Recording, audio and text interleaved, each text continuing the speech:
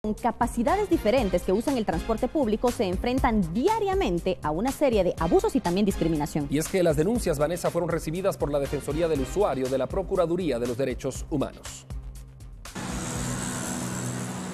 Más de 800 denuncias en contra del servicio del transurbano ha recibido la Procuraduría de Derechos Humanos, quienes este viernes llegaron a las oficinas de esta empresa privada para verificar no solo el mal servicio de las unidades, el incremento en precios, sobre todo los maltratos y la no gratuidad a personas de la tercera edad y discapacitados. El representante de la Procuraduría de Derechos del Usuario confirmó que acordaron con la nueva junta directiva entablar una mesa técnica de diálogo para incluir el tema también de subsidio, inseguridad y extorsiones a este gremio. Debería estar el Ejecutivo, el organismo ejecutivo, sus representantes, también en la Municipalidad de Guatemala, las eh, organizaciones de sociedad civil, eh, también los transportistas, obviamente, pilotos y eh, la institución del Procurador de los Derechos Humanos como mediador de este tipo de, espacios en donde verdaderamente se aproveche para resolver esta crisis que hoy vive el tema de transporte colectivo, no solamente transurbano, sino los autobuses rojos y el transporte exurbano en diversos temas que sería temático